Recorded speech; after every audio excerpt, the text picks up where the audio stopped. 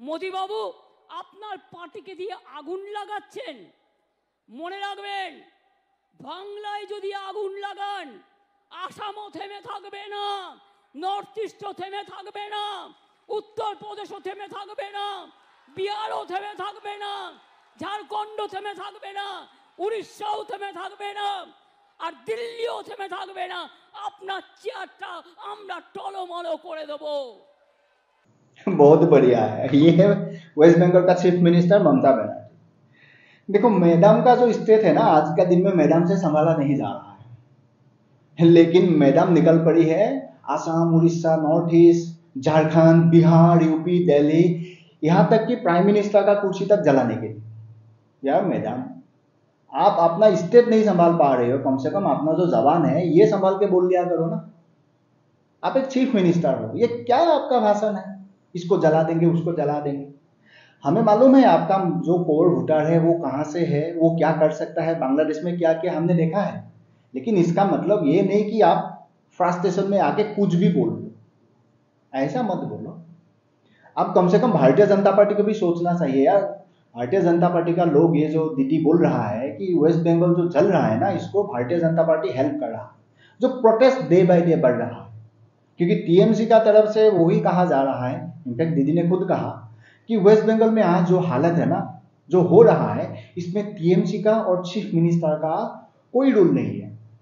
वो तो डेमोक्रेसी को प्रोटेक्ट करने वाला एक, मैं क्या ही बता सकता हूँ, ममता दीदी है। लेकिन जो गलत हो रहा है, वो भारतीय जनता पार्टी कर रहा है। अब जनता को भी समझ में आ गया, इसीलिए जनता सड़क पे उतर रहा है कि नहीं हमें दीदी का ही शासन चाहिए बीजेपी को बाहर कर दो। ऐसा बोल रहा है क्या? नहीं नहीं ऐसा नहीं बोल रहा है। तो जनता बोल रहा है कि हमें आज न्याय चाहिए। आरजी कोर मेडिकल कॉलेज में जो हुआ है ना उसके लिए न्याय चाहिए। अब न्याय कौन देगा? भारत में न्याय कौन देगा ये बहुत बड़ा सवाल है। हालाँकि आसाम का नाम लेते ही आसाम का चीफ मिनिस्टर हिमंत बिश्व शर्मा ने ट्वीट कर दिया कि दीदी आपको हिम्मत कैसे हुआ कि आप ऐसे बोल दिया कि आसाम को जला देंगे? आप भूल गए हो क्या? मैं यहाँ का चीफ मिनिस्टर हूँ। उन्होंने दिखा दिया।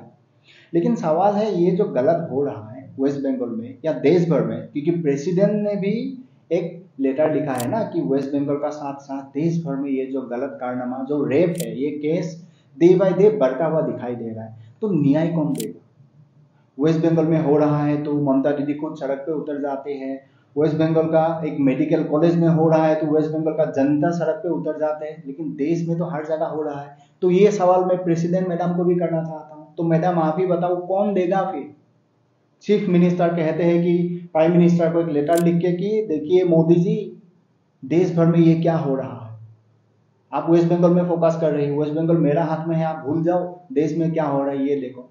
ये पॉलिटिक्स वाला गेम कब तक चलता रहेगा यार? वो भी इतना घिनौने हरकतें होने के बाद, ये उस पार्टी को बोलेगा, ये उस पार्टी को बोलेगा। अब यहाँ चीफ मिनिस्टर आके कह दिया, अगर ऐसा ही रहा तो हम दिल्ली को भी नहीं छोड़ेंगे, जला देंगे।